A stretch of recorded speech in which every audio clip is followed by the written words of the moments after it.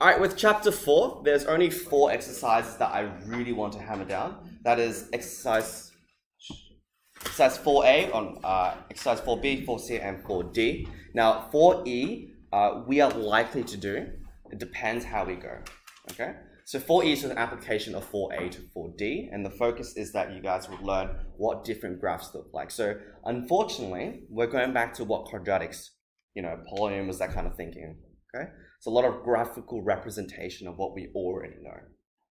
Okay?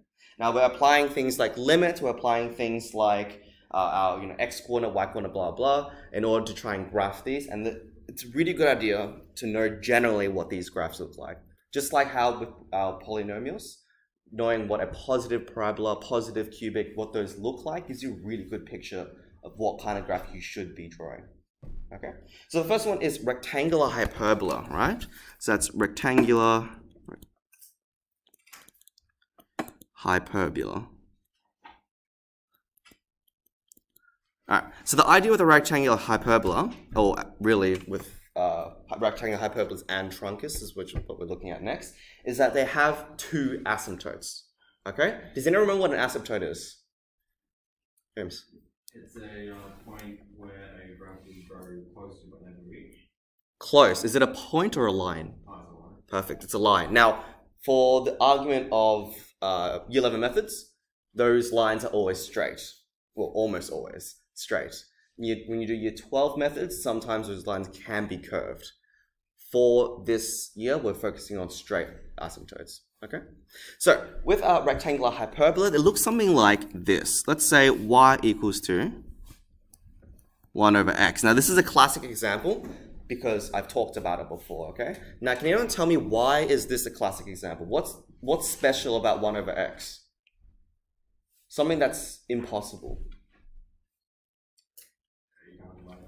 Perfect. You can't divide any number by 0. What do you get if you divide any number by 0, Merrick? Undefined, perfect. So it doesn't really exist. Not that it's infinity or positive infinity, negative infinity, it just doesn't exist. Right? It doesn't even make sense in the mathematical world. So x cannot be zero. Are we okay with that? Perfect. X cannot be zero. Which means x equals zero is an asymptote. Because for my graph, there is no possible way my value of x can be zero. So I'm gonna go ahead and draw a straight line there. That's dotted because it's an asymptote.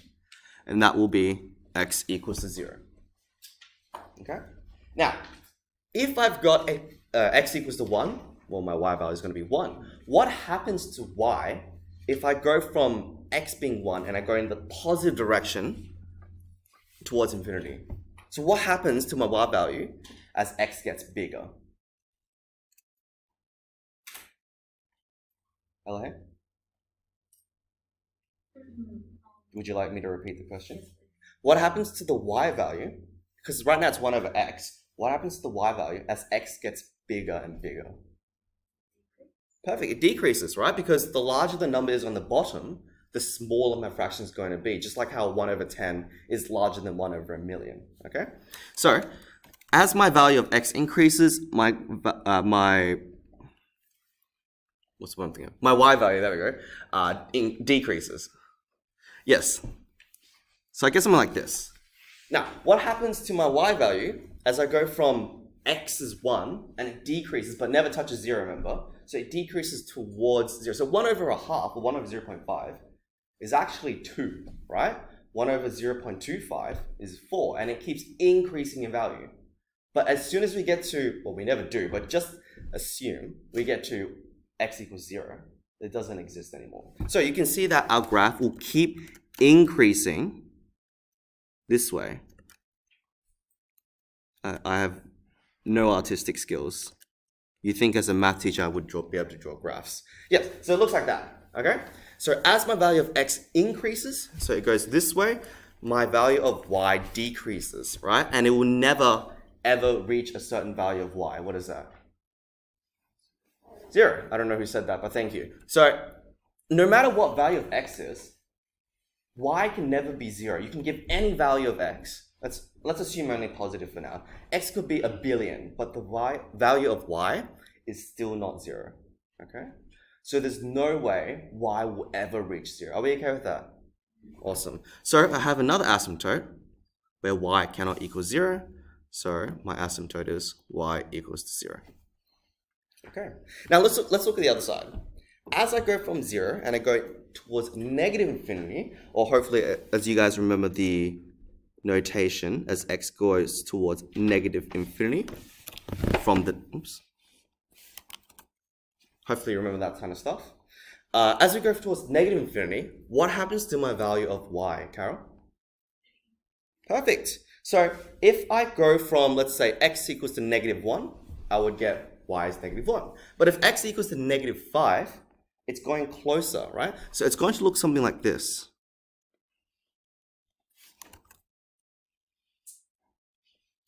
And that's my rectangular hyperbola. Now, this is the general shape we're working with. Now, we're going to be doing a lot of transformations, so dilations, uh, translating, so translating, shifting left, right, up, down. Uh, but this is the general shape we're working with. Okay? A rectangular hyperbola, a normal y, equals 1 over x, has asymptotes where x cannot equal to 0 and x cannot, a y cannot equal to 0. Do I have any questions? No? Okay. I'm not going to spend too much time on the transformations. I just want you guys to know the general understanding, the fundamental understanding as to why these graphs look like this. Okay, so that's 1 over x. Now let's go to exercise 4b, which is on the truncus.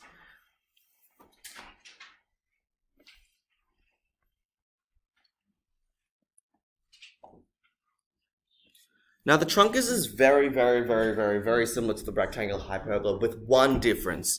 So where our our uh, rectangular hyperbola was in the general function, uh, general shape of y equals to 1 over x. Now y equals 1 over x is the equivalent of uh, like y equals x squared to a parabola. It's not the general form, but it's just the standard what we look at when we're comparing with. Okay, so y equals 1 over x is a rectangular hyperbola. The truncus comes in the form of y equals to 1 over x squared. Okay. Now you can tell the difference is going to be that no matter what value of x I put into the bottom of the fraction, my overall value is still going to be positive, right? If I put an x equals negative infinity, it doesn't matter. It's still going to be positive infinity after it comes out of the square. Okay. So that's the whole, whole idea of the truncus. It's very similar to a rectangle hyperbola. I'm going to go ahead and draw the graph again, except whatever, let's say I put x equals to 1. I'm going to get y equals 1. And I put x equals to negative 1 I'm still going to get y equals 1. So for whatever value I get, I put in as x equals whatever, as a positive side, if I have the absolute opposite of negative, so let's say I put x equals 10 and x equals negative 10, I'm going to end up with the same y value. Would you agree? Yeah, awesome. So we know that 1 over x looks looks like this on this side. If no matter what value of x I put in positive uh, negative, sorry, it's just going to reflect the positive side. Does it make sense that my negative side is going to look like that? Yeah. Uh, I don't know if actually it's actually called this for this reason, but the way I remember is it looks like a trunk, and that's why we call truncus. Ta-da! Magic. I mean, maths. Uh, so that's the truncus. Once again, we'll work with our uh, translations another day, but that's the general idea. Okay. Can anyone tell me where do we have our asymptotes? Jay? Perfect. X equals zero. Why? That's not x. You can't. If x, if x equals zero, then it would just um that denominator denominator would equal zero. Perfect. Zero squared is still zero. One over zero is undefined, so x cannot equal to zero. What's the other one, Merrick? Perfect. Nice and simple. Y cannot equal to zero. Same idea. No matter what value you put into x, you cannot get a uh, value of zero. Okay? Now, those asymptotes will change if your function changes, all right? So it depends, once again, if you translate it, so if you move it up, let's say three units, your asymptote's also going to move up three units, okay? So it, depending on what your function is, that's where your asymptote is going to be. It's not always going to be x equals zero, y equals zero, okay? So for example, if I go back over here with my y equals to 1 over x, if I had y equals to 1 over x minus 1, does it make sense that x cannot be 1? Does that make sense? Because if x is 1, then I'm going to get y, 1 minus 1, which is 0, and I get 1 over 0 doesn't make sense. So x cannot be 1, in which case my asymptote is now positive 1. I've shifted it right one unit, one unit, but it says minus 1. Does it sound very familiar to something else? Yeah, same with your parabolas. If it's inside inside the bracket, then it's the opposite. But if you do, for example, plus 3, it just shifts up 3 units. Exactly the same idea. Yeah, and the same idea with truncus, except I will explore that later day, except it'll look like in a bracket. But does that make sense? The general idea of truncus and rectangular hyperbola. Yeah, I think in the recording I'm gonna kick myself for saying does that make sense a hundred times, but does that make sense? All right, any questions? No? All right. Up next, the graph of root x. All right. Um, Now, the graph of root x is particularly interesting because graph of root x is particularly interesting because no matter what value of y, it doesn't really matter, but if we specifically look at our domain, what can't x be? Yeah. Perfect. It doesn't exist, right? No real solutions in the real world plane. Now, specify real because any of you guys doing specialists, it gets a little bit more complex. So, root x, you cannot have any negative value of x, right? It doesn't make sense. So, we only draw the positive side. If I have x equals to 4, what's my y value going to be? 2. Easy. Makes sense. Makes sense. All right, x equals to 1? Perfect. Now let's say x equals to 16. Let's move over here, 16. What does my y equal to? Yeah. You probably notice that as we, let me do those points now, as we move across our x-axis, my y-axis increases as well, but at much, much slower rate.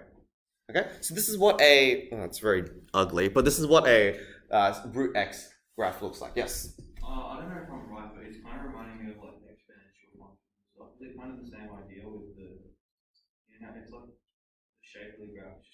reminding me of exponential. Yeah, it's to the power of a number. It's an indice. Yeah. Now, root x, remember, is to the power of a half. Yeah. But we're specifically choosing root x because we've just chosen that as a, a, a particular function. It's just kind of like how we have x squared is something that we work with very often, Yeah. but x to the power of 63 is not really something we work with. They've just chosen root x or x to the power of half as something that we work with quite often. So we have root x and it looks like that, right? Now, what happens if I have y equals to, I should probably color code these, huh? Let me just change that to a purple. Isn't it? Is technology amazing? Okay, so let's say, oh no, technology is terrible. Okay, so let's say I have the function of y equals to negative root x. So any value I get, any whatever I put in, I'm just going to get end up with a negative version. Okay, so whatever value of y I get, I'm just going to go ahead and flip it. So if that purple one is x uh, root x, sorry, negative root x is just going to give me this. Does that make sense? Yeah. Because I flipped it this way because no matter sorry, I'm going and I'm going to have any value here and then I'm going to make it a negative value because I'm putting the negative in front. But if I've got y equals to root negative x, what that's saying is I need to have negative value of x in order to have it as a positive value in the square root. I feel like I just said a tongue twister. Did that make sense? I'm seeing a lot of nods on this side, none on this side. So for this graph over here, in order to have a positive number in the square root, I need to have a negative value of x. Because if I put in positive 1, I'm going to end up with negative 1, and you can't have a negative in a, uh, in a, in a square root. So, for example, I can put in negative 1. Negative 1 times by that negative gives me positive 1, and then I can draw that. Does that make sense? So, in other words, I'm flipping it this way instead, and I'm going to get a function that looks like that. Now, these are reflections. Uh, we will go into that a bit further on, but I just want to introduce that idea. Okay, so you need to understand why do we flip it this way? Why do we translate it, etc. Okay, it's no longer no longer good enough to just memorize where or, how the translations happen. You need to know in what way or why they happen.